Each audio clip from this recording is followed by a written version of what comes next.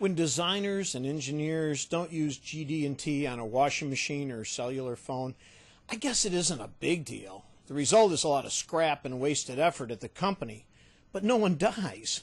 What really ticks me off is when the folks designing medical devices, military hardware, and other products that affect life and limb don't do it right.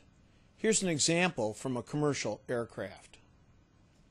This is a case study of a part called a throttle pulley sector used on a commercial airline. You see it rotating here. It rides in two ball bearings, then on a shaft. When this actuator is moved, the throttle pulley sector rotates. These two cables go back to the engines, and so they control the speed of the engine. These guide pins are here to make sure that these cables never come off the throttle pulley sector.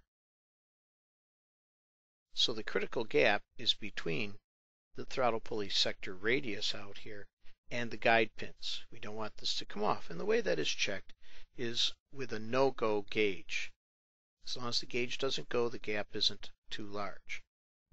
If the inspector misses that, or doesn't check it all along that radius, the result is that these cables could walk right off the pulley. If that happens, the engines die, and, well, you can figure out what happens next.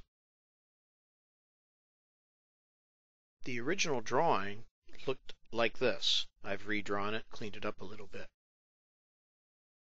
But they had this radius of 7.064 directly toleranced. In other words, the plus or minus 5 down here applied to the 7064.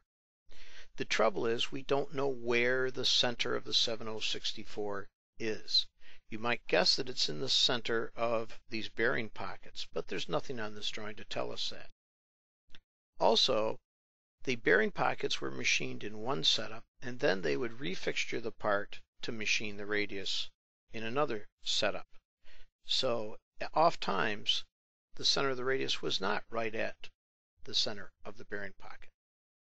The solution is to identify these bearing pockets as your primary datum feature. As you can see here, I'm calling it datum feature A, 2x, so the two pockets establish a common axis that the pulley can then pivot around. On that critical radius and on these V-grooves, we have a profile tolerance of 10 thousandths. Now this 7064 isn't directly toleranced, it's a basic dimension, which means that's the goal. And the tolerance of 10 thousandths is on this surface with respect to the axis established by A. One way you might think about inspecting this would be with a drop indicator.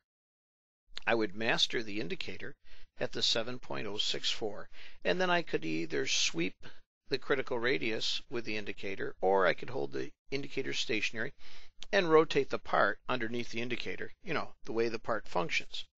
It would be rotating about the axis of the two bearing pockets. And when I do that, the indicator could not move more than plus 5 or minus 5 because with profile the number in the box is always total and it's implied centered on the basic goal unless you're told otherwise. What could be simpler? And why wouldn't you do it this way?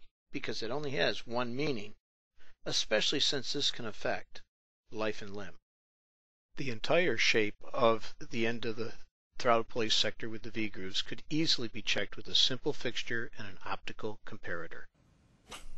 Next time, I think I'll take the bus. If your products affect lives and safety, Please learn how to control your part geometry with GD&T. You know, the stuff that most engineering colleges do not teach. If you need help with it, give Tec-Ease a call because at Tec-Ease, GD&T rules.